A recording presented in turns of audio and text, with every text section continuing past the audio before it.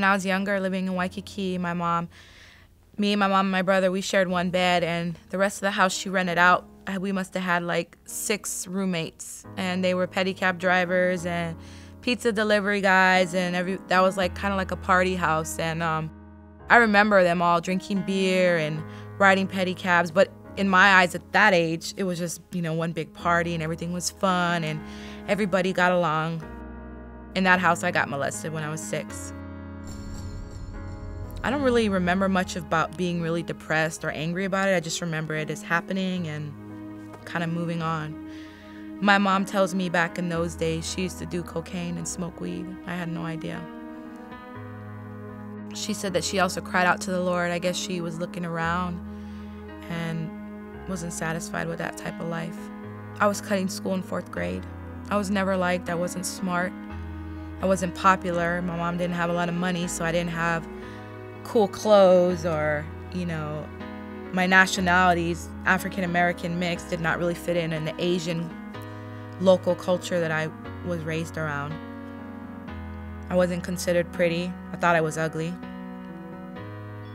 Just smoked weed and cut school and started doing inhalants, rubber cement, butane. This is about age, this is fifth grade, sixth grade. So I'm like 10 and 13. I was doing rubber cement and butane on a daily basis. I remember doing that for like, I don't know, 15, 16 till about 16. I started getting locked up for truancy, curfew. Amongst my friends, I was this major, major druggie who had access to all these things, but my mom still thought I was just this sweet, innocent girl that she loved and that could take care of herself, I guess. And I guess that just wasn't the case because of my personality. I was swayed to the dark side of the world and I just went. I went full force. I was got introduced to crystal methamphetamine at 15 and acid and dark music and I just I remember being so thin and uh, throwing up bile because I would smoke crystal meth and not eat for like a week at a time and I was like must have been like 105 pounds. And I lived at home. My mom I remember I must have like missed like two weeks of school and and the I think the counselor called her or something and she I forget I must have lied. I said something like I was experiencing troubles in school. So she took me to a shrink and I was allowed to stay home or something but I just remember thinking in my head she can't even tell that I'm just on drugs. I was that was really all that was wrong with me I was just a drug addict I wouldn't understand why I had this desire to be so bad sometimes and it used to make me depressed. I used to go through a lot of depression because I didn't understand why I wanted to be the way I, I wanted to. Why couldn't I just be this good girl and go to school and, you know, make my mom proud and just be normal? I just, I always felt that that wasn't for me. And when I used to really sit and think about it, it made me feel suicidal because I wouldn't understand what was wrong with me. But for some reason, I had a part of me that just wanted to run and be high and never be sober. I hated to be sober. I loved being high. I loved listening to music and being gone and just being. At 18, you know, I'm an adult considered I'm considered an adult when I first went to prison as soon as I made 18 and I did a year and it was just, you know, it was just another chapter in my life. If anything, I felt like I graduated to, you know, big girls kind of thing. Started getting involved in homosexuality, and um, because in prison, 80% of the popul- population is, is gay or turns gay or something, and um, separated from men, and you do years and years, and that's what you do. There were times in prison when I would read my Bible or I would try to go to church take classes, and um, my homosexuality would stop me from really being fully involved because I felt guilty. I knew it was wrong. I'd be in a serious relationship with a woman, and it doesn't mix. You know, I was really, I was always really a genuine person. I was either going to be really bad or I was going to be really good. I didn't like to try to do good and bring the bad stuff along and you know fake it, so you could say.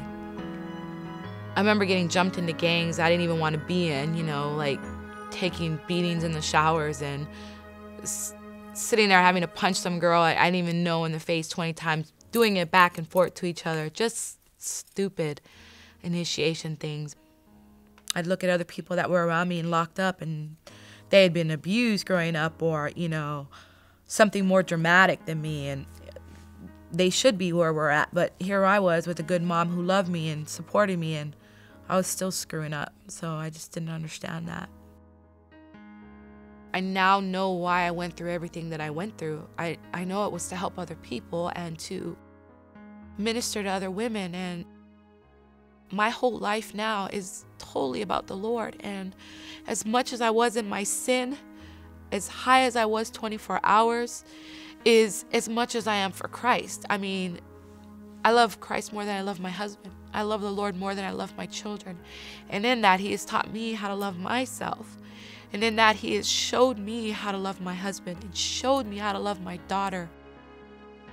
It's the best thing that ever happened to me in my life. I feel worthy to be a mother and a wife.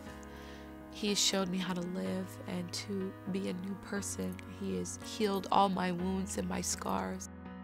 With Christ, all things are new, and He has made me a new creation. He has taken my beauty for ashes. He has taken what the devil caused for harm, everything that Satan tried to use to kill me relationships, self mutilation, depression, um, drugs. All those things are tactics of Satan to kill you and destroy you. God has transformed and renewed and cleaned and filled and changed me and for his glory and for his kingdom and to help other people that are lost. My name is Nicole and it means victory. And victory in the scripture that goes with that is he brought my people out of the wilderness and leads them into victory.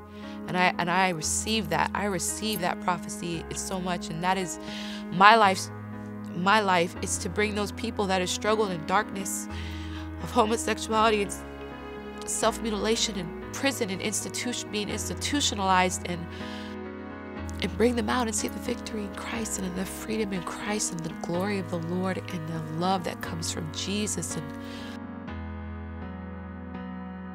the fruits of the Spirit, which is peace, joy, love, hope, and faith. Money cannot replace those things.